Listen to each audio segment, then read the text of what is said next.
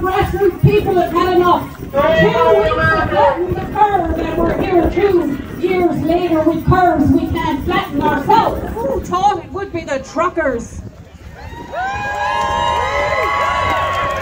They are encouraging people around the world right now, giving them hope and bringing a smile back into their faces and starting to celebrate. Look what just happened here when we showed up, when that music started playing. This land is your land, this land is my land. We were dancing because we know in our spirits that the grassroots people have to be listened to, not those that we elect.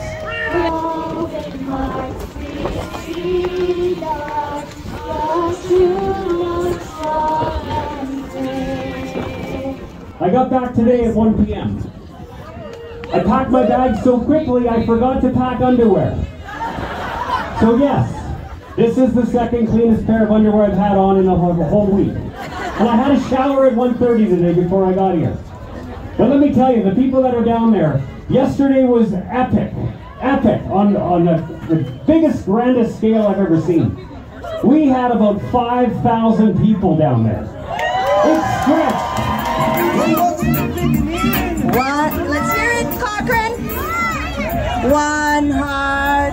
Give thanks and praise to the Lord, and I will feel alright. Okay.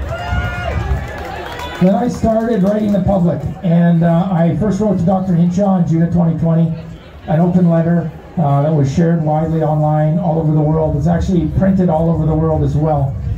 And uh, in that letter to Dr. Hinshaw, I call out her errors in recommending. At that time, it wasn't a mandate; it was just a recommendation that people wear uh, these breathing barriers for protection. And here's the thing: what I want. This is the challenge I have for you guys today. Everyone refers to those closed covers that people wear as masks because the government has instilled that in everybody's brain. But I want you to know for a fact these are not masks, they're breathing barriers.